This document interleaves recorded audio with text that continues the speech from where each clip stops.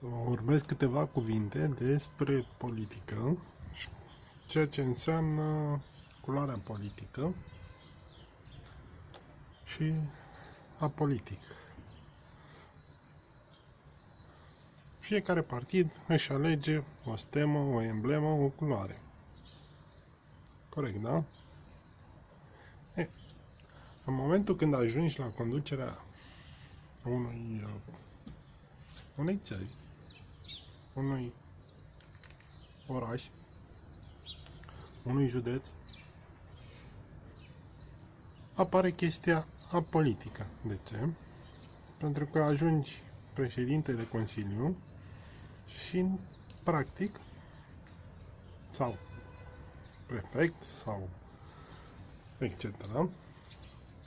Și trebuie să te înțelegi cu Consiliul Local, cu Consiliul Județean, care este de diferite culori, care are un anume program, care încearcă să se țină de programul lui și uite așa apare circul și scandalul, sau circ și panoramă, în Consiliul Județean, în Consiliul Local, în tot ce vrei. Practic, și în uh, președintele este la fel președintele țării, în momentul când ajunge la conducerea țării, este apolitic. Adică, în momentul când își creează guvernul, trebuie să pună și de la partidul de la care l-a susținut până în momentul când a câștigat și de la celelalte partide care au creat alianța, să spunem, ceva de genul PSD-ALDE, etc. PNL și etc. etc.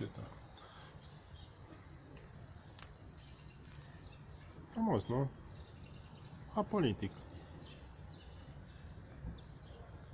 Ceva de genul nici cald, nici măgar, cam cum sunt cauciucurile de iarnă și de vară.